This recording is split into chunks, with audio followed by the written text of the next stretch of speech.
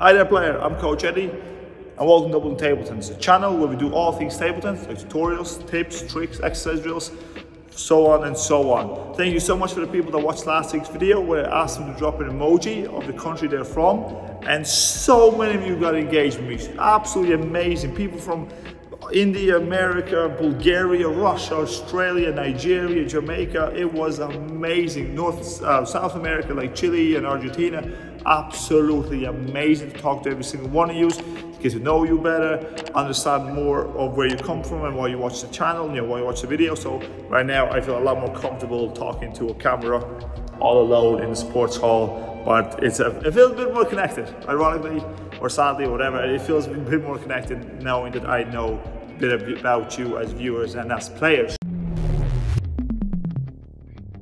So, as your coach, I have to teach you new things and or improve you on the things that you already know. So I thought like what video I'm doing today and then I realized, you know, I've talked a lot about uh, pendulum serve. I talked about the grip for the reverse pendulum as well, how to improve a few things, you know, those videos in the link in the description and whatnot.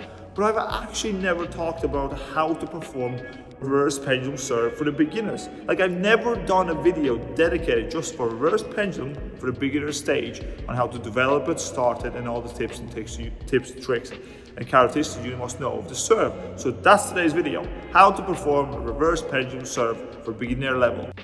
Before we jump on the table, okay, I need to show you, just in case if it's the first time you're watching this, how to grip it. Now, I have two videos, detailed versions in the description to understand why and where we put our fingers and blah, blah, blah. So check them out. But I'm gonna run through a quick demonstration on how to grip it. I'm right-handed, so I put my arm like this, racket goes sideways, these three fingers are irrelevant, so I bend them in and I flip it out. That is basically how you hold the racket. For stability reasons, I put the middle finger between the rubber and the blade for, for better balance. But yeah, that's how it goes.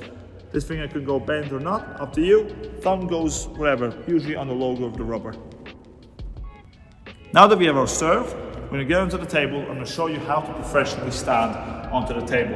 I'm right-handed, so I'm gonna stand left side of the table. More specifically, my left foot is gonna touch the side of the table like this. There's nothing illegal about this.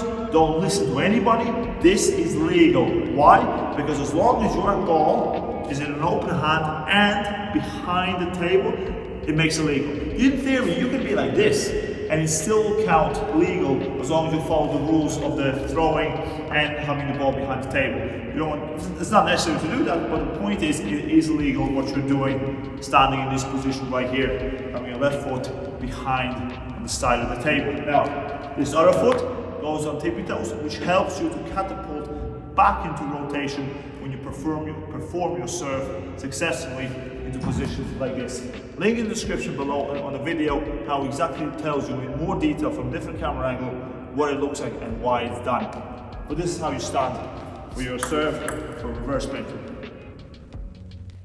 Now the main reason I'm doing this video is because I want to teach you something that I used to struggle with is the connectivity between the racket and the ball. I used to struggle with that whip, with our arm movement to be able to contact and drive enough spin, force and all that. It just would not work. It took me eight months of doing this, like that, okay, I missed on purpose, but to do that, to get the idea on how the arm works, because as the pendulum serve, the arm, elbow goes up, goes out, and in reverse pendulum, being the you know the word reverse, you do it in reverse. You go from in and out. So this is what I tell kids I tell them be a John Wayne. They don't know what that is. That's how old I am. But be, be that Western movie um, cowboy where he whips out the pistol like that. That is actually the moment and the style of what you do in the reverse pendulum. You come out sideways, right? Elbow up. It's sideways. You come, the ball comes, goes up. You go out and in. Like a whip action of the gun. Let me show you from different angle what I mean. Wrist bend, throw, and come in. I'm not even rotating, I'm just gonna whip in actually the wrist and listen how many times the ball bounces. That's all on the table. I'm not even rotating, I'm not even getting my ready position. I'm just using the, the whip action of the arm make all the necessary quality on the ball. Come in and come out. Whip it out, whip it in. As your coach, my job is actually also to update you and inform you on the World Table Tennis. So, as you may know, may or may not know, in this date right here, World Table Tennis Championships is going to happen in Texas, Houston, um, on this date right here. I can't exactly remember, but I'm going to put it right right here on the screen. I'm to pin you down uh, in the comments a link to the federation website where you can find the official live stream with commentary that's going to be used and you can use that to watch the world championships so yeah hope you enjoy and i'm sure you and i will watch a few matches together i'll let you know about that later but yeah back to the video